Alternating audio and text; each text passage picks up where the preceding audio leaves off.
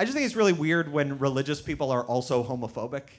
That's right. Yeah, it's a strange combo. You'll hear like a Christian that'll be like, homosexuality is unnatural. It's like, first of all, I don't think it is.